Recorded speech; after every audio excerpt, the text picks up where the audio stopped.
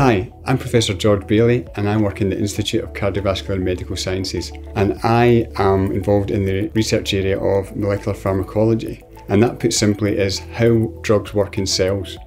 Our institute covers a, a broad range of subjects and we have clinicians who deal directly with patients but I'm more involved in the molecular end of the science where drugs interact with proteins in cells and I study how drugs work and how we can make them work better.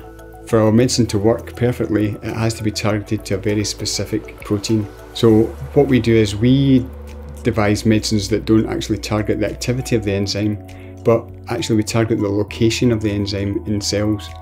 So what that means is we don't actually inhibit the activity of any of the, the proteins, we just move them out of their site in the cell. And that leads to the development of medicines which should have lower side effects. So much of my research is what we call translational. So we take basic biochemical observations and we try and use them to make small molecules or new medicines. I'm personally very excited about translational research because I can take the biochemical observations that we take in the lab and convert them into new medicines or new therapeutic avenues. I can see the development from taking some cells which have got a disease phenotype and then using our compounds to correct that deficit.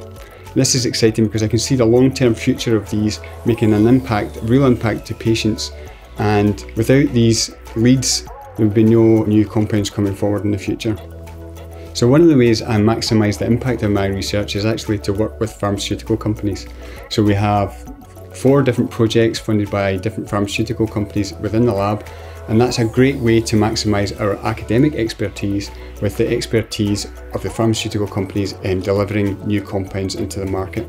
Working with pharmaceutical companies is the best way to maximise our chances of making a real discovery which will have a world-changing impact on the way patients respond to these medicines.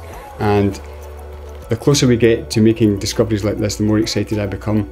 And my team of researchers are highly motivated because they can actually see the pathway to success for their hard work.